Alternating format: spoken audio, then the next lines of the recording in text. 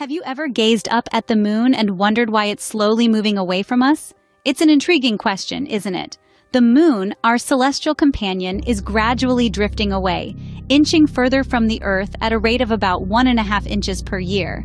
This isn't some random event or a cosmic game of hide and seek. It's a result of specific scientific phenomena, a dance of cosmic forces that have been at play since the birth of our moon.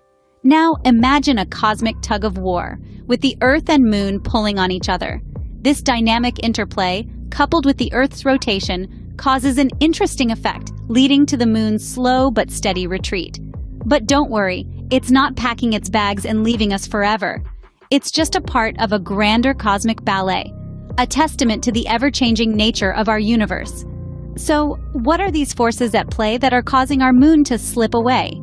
From our vantage point here on Earth, it's all about tides and friction. Now, you might be wondering, what does this have to do with the moon moving away? Well, it all boils down to a fascinating dance between the Earth and its lunar partner.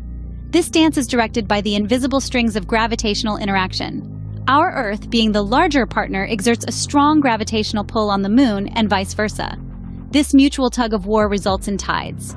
Picture this. As the moon orbits Earth, its gravity pulls on our planet's water, causing a bulge or high tide on the side facing the moon. There's also a corresponding bulge on the opposite side due to the inertia of water.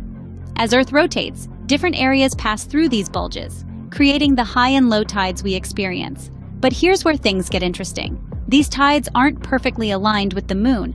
Earth's rotation causes the tidal bulges to be slightly ahead. This results in a bit of a gravitational tug on the moon from the bulge, which gives the moon a slight push, causing it to speed up and move into a higher orbit. At the same time, this process acts like a brake on Earth's rotation. It's a bit like a spinning dancer extending her arms. As she does so, she slows down her spin. Similarly, as Earth transfers energy to the moon through tides, our planet's rotation slows down ever so slightly. This transfer of energy is not without consequence. As the Earth's rotation slows, days become a smidge longer and as the moon speeds up, it moves a tiny bit further away from us. It's a subtle but continuous process, happening at a pace of about an inch and a half per year. So, in essence, the moon's retreat from Earth is a slow, graceful dance, a dance that has been going on for billions of years and will continue for billions more. The moon's retreat is a slow dance, choreographed by gravity and time. You might be asking, what does this mean for the future of our Earth and moon? Well, as the moon continues to gently drift away, it's going to have some interesting implications for our home planet. One of the most significant effects is that our day will gradually get longer. But don't worry, you won't need to adjust your alarm clocks just yet. This is happening incredibly slowly. In fact, the moon is inching away at a pace of about one and a half inches per year. That's slower than the rate your hair grows. Over billions of years, this slow drift could add up to a noticeable difference in the length of our day. But that's a story for the far, far future. So, while it's fascinating to think about the dance of celestial bodies and the tug of war of gravitational forces, there's no immediate cause for concern. In other words, there's no need to lose sleep over it. The moon isn't going anywhere fast. So, to put it all in perspective, our moon, that familiar face in the night sky, is not as stationary as it appears.